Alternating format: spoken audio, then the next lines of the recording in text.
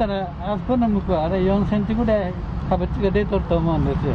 あのぐらいにしてやってもらったら、すごく楽だと思うんですよね。もうとっとぶして。それから、ヘリは、あの、ほとんど目が見えんほどこう押して、あの、縦横押して、あの、つけてください。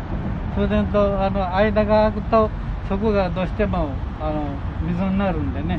それは、あの、今今まで、まあ、私がずっとやってきたのは下をあの砂をドロドロにしとってこうやって全部ひっつけてきたんね。それだけ、まあ、今まであのもうどこでも質感よくたねすぐきれいになったねがあの今日はこのこういう形で並べて後から砂をかけて水をかける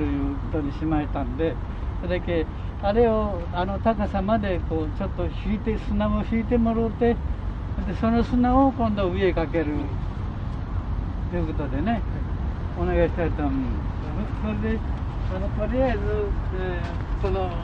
あの砂を2センチぐらい、あのかぶちから、日々の高いところから2センチぐらいずっと引っ張のけてもらって、昨日あの、まあね、ちょっと私がいいよかからなんだけんじゃろう、もうじゃが、みんながきれいにしよう思ってくれたんじゃろうけど。もうね、あのこの砂も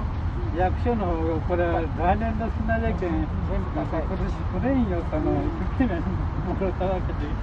あのもう今電気ませんのでね、だけどどうしても上かける砂が入りますんで。